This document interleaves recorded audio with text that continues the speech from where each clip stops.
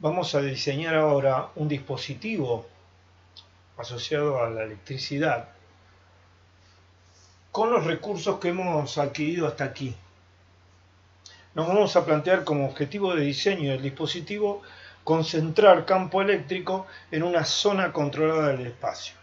Vimos que en el caso más general, una distribución de cargas genera campo eléctrico en todo el espacio que lo circunda. Pero, según sea la geometría de esta distribución, puede haber campo eléctrico más intenso en una zona del espacio que en otras. La primera intuición nos la puede dar el dipolo formado por dos cargas puntuales. Vimos, si esta era la carga positiva y esta era la negativa, que el campo era mucho más intenso entre las cargas que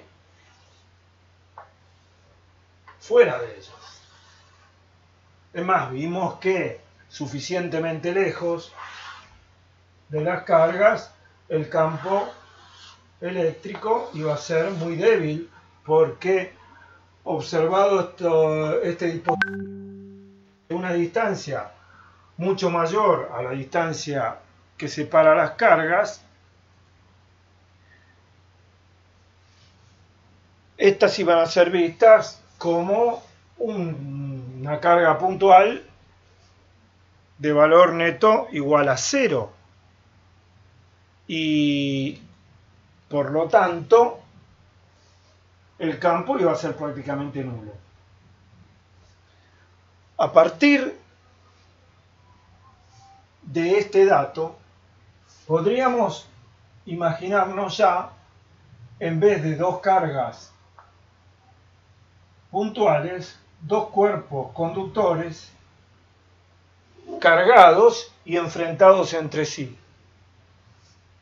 Vimos, resolviendo problemas de potencial electrostático, que si cargamos a los conductores con cargas de signo contrario, la atracción que las cargas de un conductor ejercen sobre las del otro iban a hacer que éstas se aproximaran a las superficies de cada conductor que enfrenta a la del otro.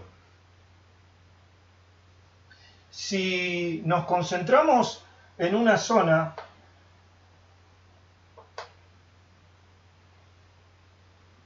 de este par de conductores enfrentados, que empieza a ser nuestro prototipo del dispositivo,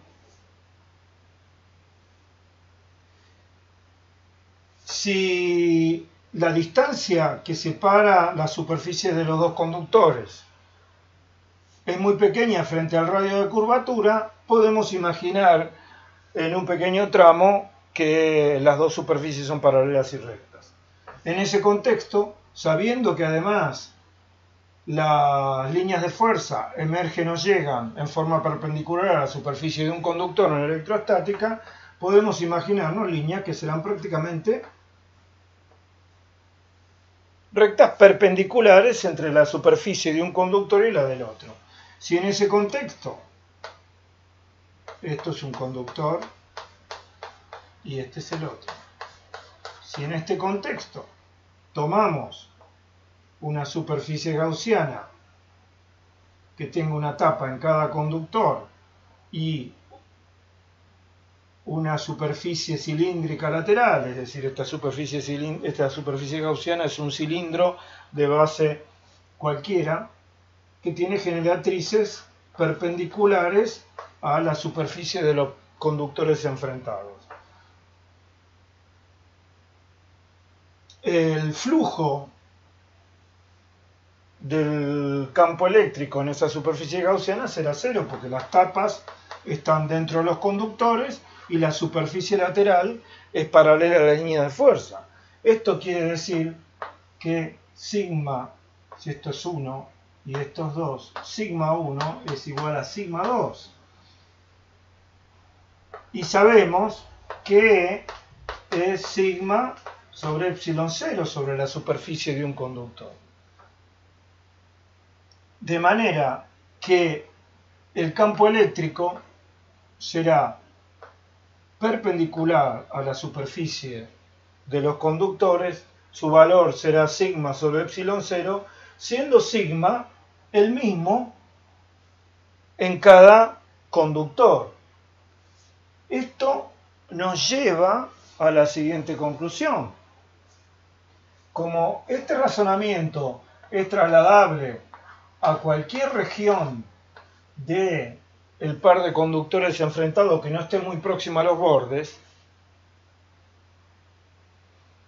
el hecho de que sigma de cada lado tenga que ser igual en cada punto, aunque la distribución no sea constante, el sigma en cada punto del conductor de la izquierda tendrá que ser igual al sigma de un punto del otro conductor que está enfrentado a él. Esto nos lleva a que la carga del lado de adentro de cada conductor será igual a la carga del lado de adentro del otro.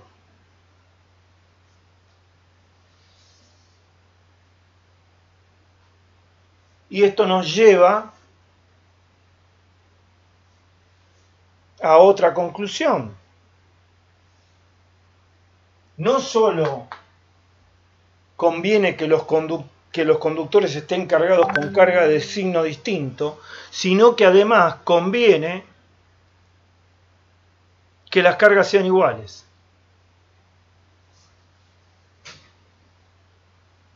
Porque si la carga de un conductor es distinta a la del otro, en valor absoluto, en signo ya habíamos llegado a la conclusión de que conviene que sean de signo contrario, para que se acerquen y se concentre campo eléctrico en esta zona. Pero ahora llegamos a la conclusión de que conviene que estén cargados con carga igual en valor absoluto, porque si la carga en uno fuera distinta que en otro, necesariamente esto implica que va a haber carga del lado de afuera, al menos en uno de los conductores. Y carga del lado de afuera va a significar campo eléctrico hacia afuera, cosa que no queremos. Podemos reforzar este razonamiento cualitativo si vamos al caso de dos placas paralelas enfrentadas, infinitas, conductoras, todo eso.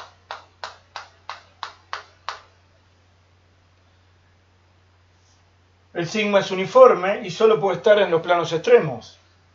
Si las cargas son iguales, si los sigmas son iguales y de signo contrario, en este caso tendré sigma 1 y sigma 2 igual a menos sigma 1.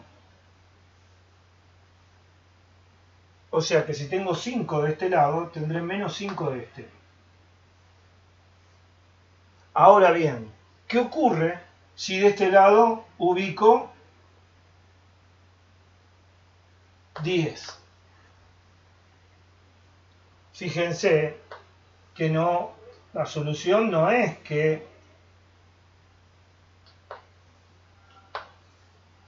voy a tener 5 menos 5 y de este otro lado otros 5 para hacer los 10. Vamos a ponerlo ahora. Porque esto no es una solución en electrostática del problema.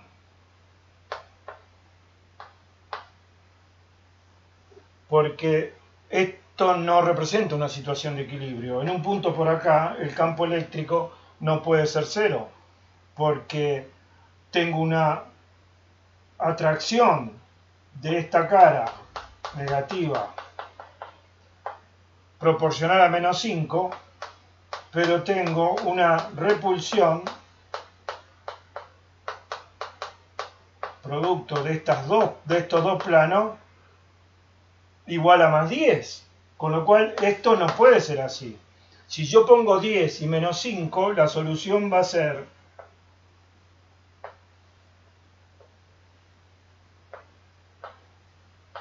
7,5 menos 7,5 2,5 2,5 y esta solución sí es de equilibrio. Si piensan en un punto aquí tiene una repulsión de 2,5 de este una atracción de menos 7,5 que está en la misma dirección y sentido que esta repulsión, o sea 7,5 más 2,5, 10. Esto es una fuerza de derecha a izquierda y de este lado tengo dos fuerzas de izquierda a derecha que suman 7,5 más 2,5 igual a 10. O sea, que si yo pongo 10 y menos 5, aprovecho solo 7,5. Por lo tanto, la mejor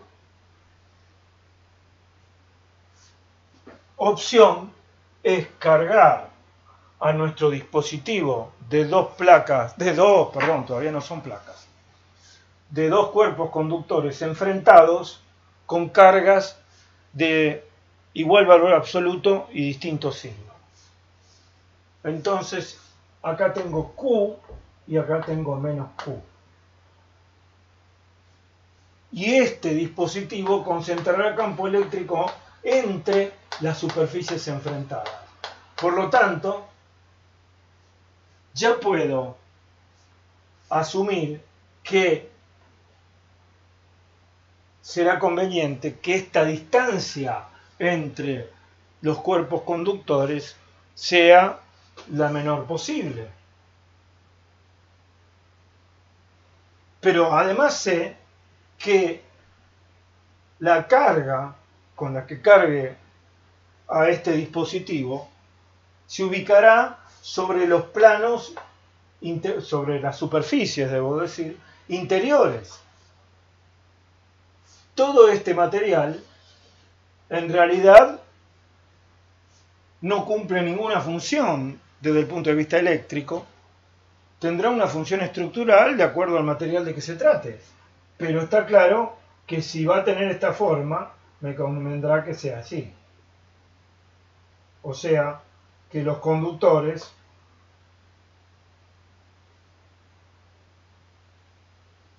tengan forma de placa, es decir, sólidos que tienen dos dimensiones mucho mayores que la tercera que llamamos espesor. Y esto este dispositivo lo vamos a llamar capacitor. Ya sabemos que va a concentrar campo eléctrico entre ambos conductores que llamaremos placas. Y ya vemos que hay dos características eléctricas asociadas a este dispositivo. Uno, una es la carga eléctrica. Q, que estará ubicada sobre los planos interiores, sobre las superficies interiores, no tienen por qué ser plano. Y la otra la podemos ver enseguida.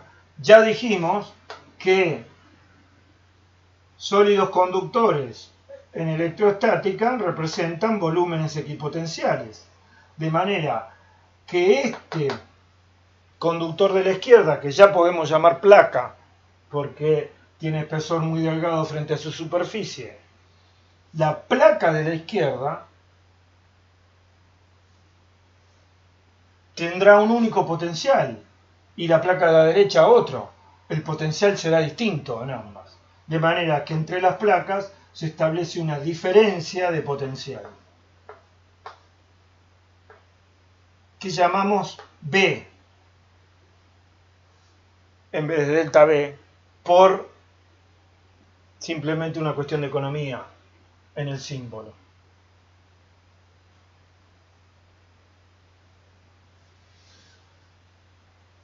Podemos ver que esta diferencia de potencial entre estas dos placas será función de la carga.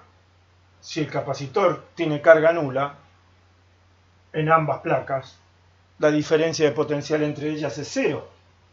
A medida que aumente la carga